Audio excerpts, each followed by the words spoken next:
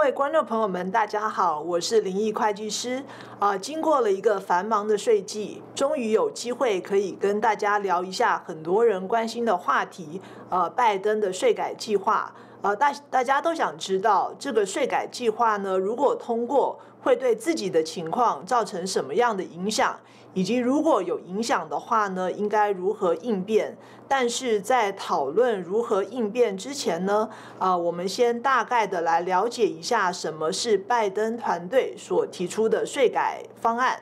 拜登的税改方案呢，是因为拜登呢要推动美国的基础建设。那这个基础建设呢，又分成两个方面啊，一方面呢是硬体方面的建设，例如在交通、能源跟其他传统产业方面的投资，而另外一方面呢是在人文方面的建设。那这个包括呢对中低收入家庭的补助啊，教育补助了，以及训练计划等等。而推动基础建设，则需要大量的资金，所以呢，需要向大型的企业及高所得的个人增加税收。那这方面的细节呢，大家可以参考这个绿皮书。啊，总而言之呢，拜登的行政团队将税务补助及增税的内容呢，称为“建造回更好的计划”。那在这个建造回更好的计划当中呢，啊，又可以粗略的分成对于中低收入家庭以及绿能产业的税务优惠的计划，还有呢，针对大型企业以及高所得个人的增税计划，所以。如果这个法案通过的话呢，有人会受益，那有人会要付出更多的税，那这个完全呢是要看在这个个人是处在这个时代洪流中的什么位置。那在税务上的优惠政策呢，又可以分成下列的三项。呃，第一条呢是鼓励基础建设，那包含呢对于新市场的税务补助，以及对于呢低收入住宅的税务补助等等。那第二方面呢，是奖励所谓的绿色能源，啊，举例呢，就是说，如果有人是买这个呃绿能的车款的话呢，将会有税务补助。好比说，在以前年度，如果有人买这个 Tesla 的电动车呢，在联邦报税的时候啊，可以得到七千五百块钱的 credit。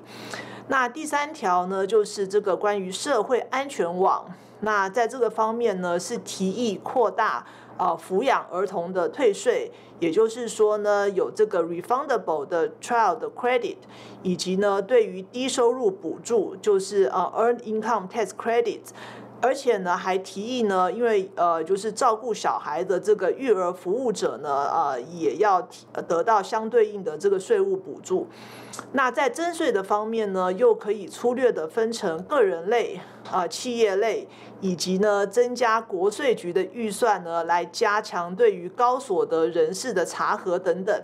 那在个人税的方面呢，在这个计划向下，呃，提议就是说，将个人的最高所得税的税级呢，由现行的百分之三十七，啊，增加到三十九点六。啊，第二条呢是针对这个调整所得在五百万以上的个人呢，你增加一个新的税百分之三的新税。那第三条呢，就是将这个长期资本利得的最高税率由现行的百分之二十啊调高到百分之二十五。而且生效日期呢是这个计划的提出日，那这一项呢可能是啊对一般中高收入家庭中影响最大的。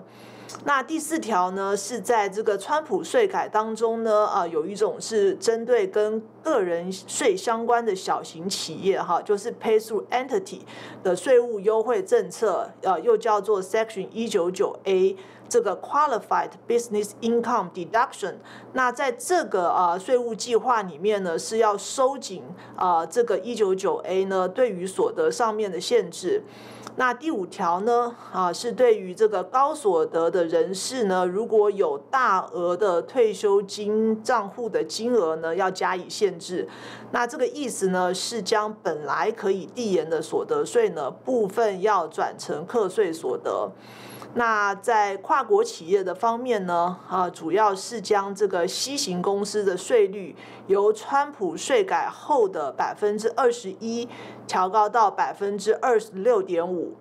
那除了境内所得税率的调整之外呢，呃，对于跨境税务的相关的 GOT tax 跟其他相关的税务法规呢，也有琢磨啊。但是我们因为时间的限制呢，啊，在这边我们就先不讨论。那在下一集的节目当中呢，啊，我们会来跟大家一同来讨论可能的应应之道。啊，谢谢，啊，下期再会。